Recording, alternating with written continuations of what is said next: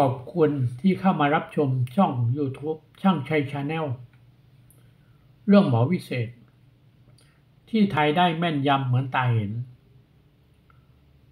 สวัสดีครับ วันนี้ผมมีเรื่องเล่าประสบการณ์ที่เกิดขึ้นกับตัวเอง ที่ผ่านมา ผมเป็นคนไม่เชื่อหมอดู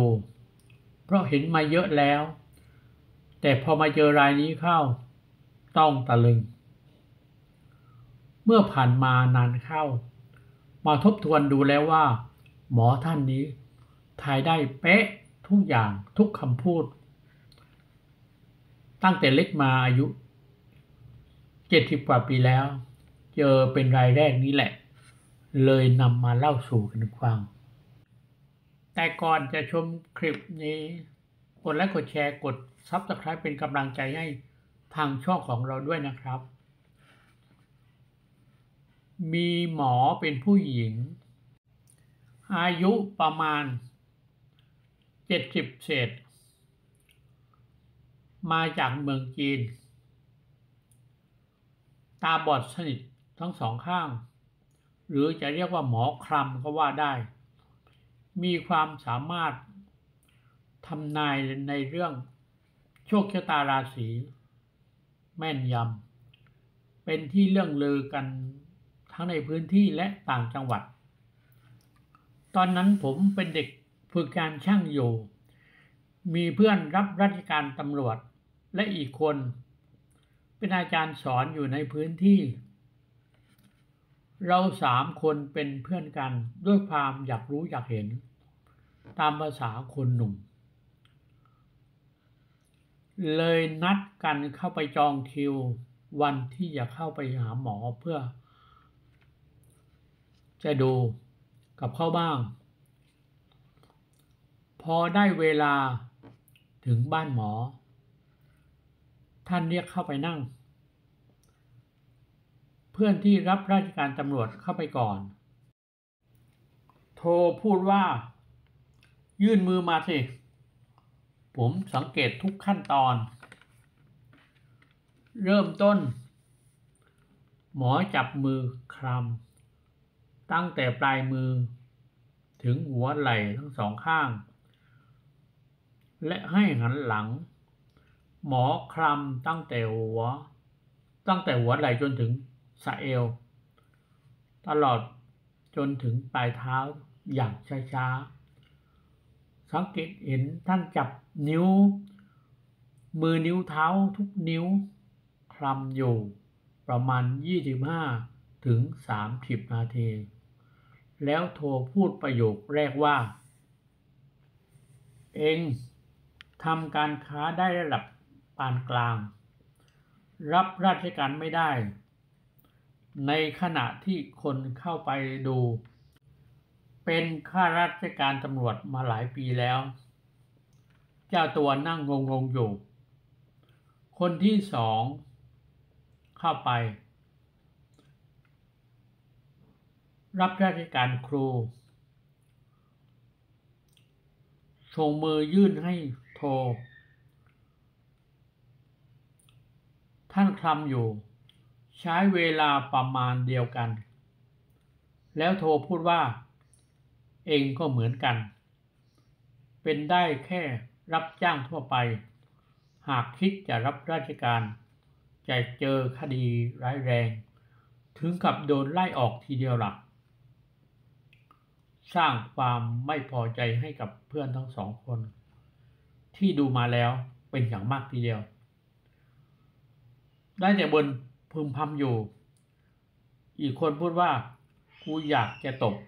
อีแก่นี้จริง ๆ เพ้อเจ้อมากแล้ว พอมาถึงตาผมคนหลังสุด ท่านบอก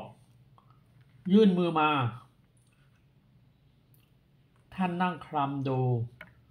เหมือนกัน วิธีวิธีเดียวกันทั้งสามคน พอท่านคลำไปคลำไป ถึงน่องถึงตาตุ่มทั้งสองข้าง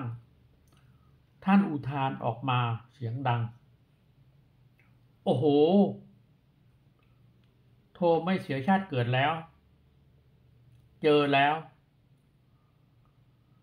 ทำเอาเราทั้งสามคนตะลึง ผมถามว่าเป็นไรครับ เป็นไรครับ เป็นไรหมอ โทรเอามือลูบหัวผมและพูดว่า ลูกเอ้ย เป็นบุญวาสนาของเอง เองเป็นเจ้าคนนายคนมีบริวารพร้อม เงินจะไหลมาโดยไม่ต้องดิ้นรนไปหา เพื่อนทั้งสองคนนั่งฟังอยู่ พูดว่าดูเพ้อเจอกันไปใหญ่แล้ว ไอ้สอ มึงนี่เหรอเป็นเจ้าคนนายคนมีบริวารพร้อม กูเห็นมึง เป็นลูกจ้าง รายได้ยังไม่พอกินอยู่ กูยังมองไม่เห็นตามอีแก่นี้พูดเลย ตลกทิ้นดี ผมไม่ได้สนใจกับคำพูดของเพื่อน ฟังหมอท่านพูดต่อ ท่านบอกว่าจะได้เมื่อ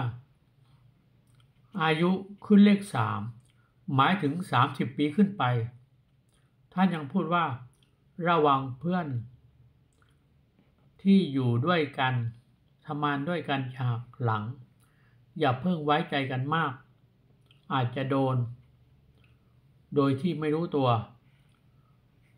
ผมถามเรื่องเนื้อคู่ เป็นคนอย่างไรอยู่ที่ไหน ถ้าให้ผมลุกขึ้นยืน หันหน้าไปทาง ทิศเหนือ ให้คว่ำมือ แล้วดูปลายนิ้ว มือนิ้วซ้าย ปลายนิ้วซ้าย ของมือซ้าย ท่านบอกว่า จะอยู่ที่นั้น ดวงชะตาสมพงกัน จะอยู่กันได้ จนแก่เท่า โทรถามว่า อยากรู้อะไรอีก ผมนึกไม่ออกแล้ว ขอลาท่านกลับ ส่งเงินให้ท่านหนึ่งร้อยผมหันไปมองเพื่อนทั้งสองคนเข้าใส่หน้าและพูดและพูดเบาๆว่า